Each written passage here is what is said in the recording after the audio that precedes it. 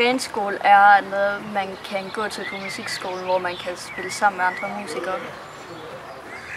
Jeg synes, at musik det er virkelig sjovt, fordi at vi er sociale, og vi spiller musik.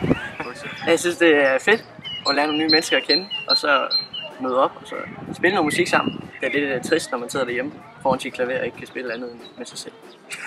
så det er fedt at komme ud og være sammen med nogle andre, lige ud til koncerter. Og det er rigtig hyggeligt. I'm so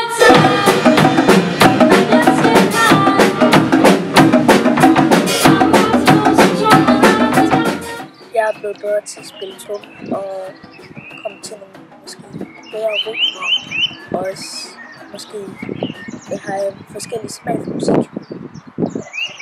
Og huske ting og have tålmodighed og sådan noget. Det skal man, når man spiller musik. Så handler det ikke kun om en selv.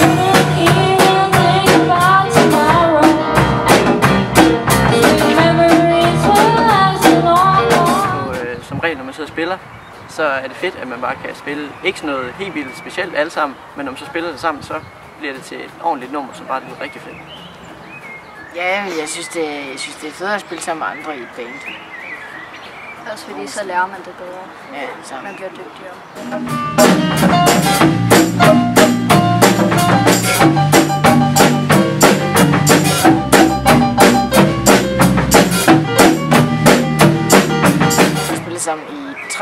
Ja, tre år.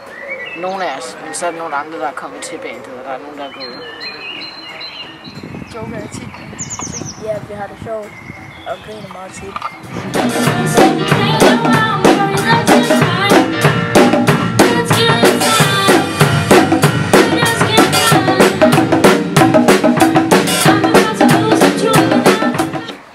Det sjoveste, det er nok at spille koncerter foran andre, mens vi... Ja, når, når vi nu viser, hvad der er, vi har der.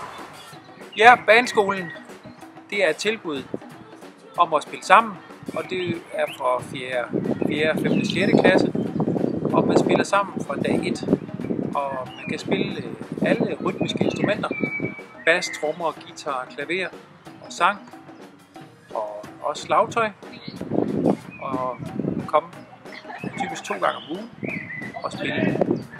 Og udover at man har samspil, så har man også solotid. Så vi vil gerne starte et nyt hold efter sommerferien, så vi vil gerne se dig.